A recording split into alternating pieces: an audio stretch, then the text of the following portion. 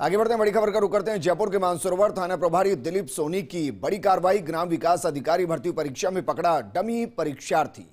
मानसरोवर इलाके के एक सेंटर परीक्षा, सेंटर पर परीक्षा देने गया था। डमी परीक्षार्थी बाबूलाल बिश्नोई, फलोदी निवासी महिपाल बिश्नोई के स्थान पर परीक्षा देने आया था। पुलिस ने आरोपी बाबूलाल बिश्नोई को गिरफ़्तार कर लिया वहीं पूछताछ के बाद असली अभ्यर्थी महिपाल को भी हिरासत में लिया गया। मानसरोवर थाना प्रभारी दिलीप सोनी कर रहे आरोपियों से पूछताछ। मेरे सहयोगी सत्यनारायण जुड़ गए हैं। सत्यनारायण, अब परीक्षा कोई भी हो, डमी वो शब्द है जो हर परीक्षा में सुनाई देता है। लेकिन अच्छी बात यह है कि जब कोई डमी सामने आता है तो उसको पकड़ा भी जाता है।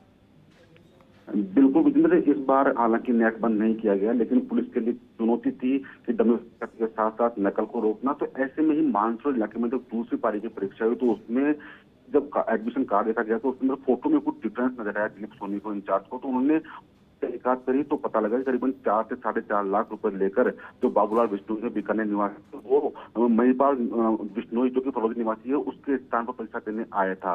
जब उसने बात बताई तो आला अधिकारी को सूचना दी गई। तुरंत प्रभाव से जो मुख्य मौजूद अधिकारी पहुँचे और आरोपी को गिरफ़्तार किया गया। पूछताछ में बात सामने ही करीबन पाँच लाख रुपए उसने लिए हैं ये परीक्षा देने के लिए और ये भी जानकारी दी कि कल होने वाली परीक्षा में भी करीबन तीन से चार अभ्यर्थी इस प्रकार के बैठने वाले हैं। जानकारी लग पाई की जो डमी कैंडिडेट है क्या इससे पहले भी कुछ परीक्षाओं का हिस्सा हो चुका है? या पहली मर्तबा ऐसा कर रहा था?